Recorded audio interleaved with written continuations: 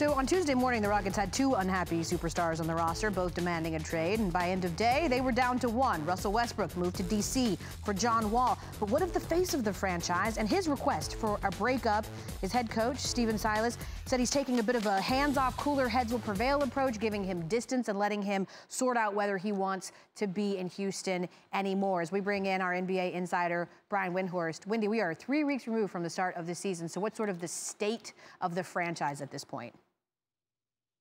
Well, we're going to find out, El, on Sunday because uh, Stephen Silas basically implied that James Harden has not been there for individual workouts this week.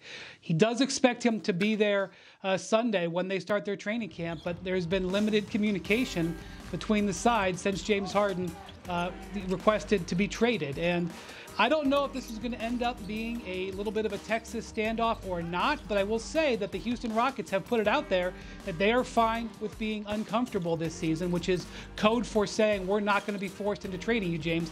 Let's see how James feels about that. Oh, don't we as the media love it? Awkward, all in. Giannis Antetokounmpo has one year remaining on his current contract, Windy. He's eligible for a supermax, but that December 21st deadline is also fastly approaching. So what's the latest on talks between Giannis and the Bucks brass? Nothing but, but cool vibes from Milwaukee as I've checked in. Giannis has been in there this week getting to know his new teammates. There is plans uh, for a meeting with owner Marc Lasry in the near future where the contract will be discussed, but nobody seems in a rush. Everybody seems to think it's going to happen. We're just waiting and watching. It's all in Giannis's hands. They do have the benefit of Giannis being very, very vocal about him wanting to stay in Milwaukee. Obviously, anything could change, but in terms of leverage publicly, he has said he is all in there with the Bucks. Brian Windhorst, we do a program reminder, not that you need to know, 3 p.m. Eastern on the jump, the first look at this year's NBA schedule. Appreciate you, Windy.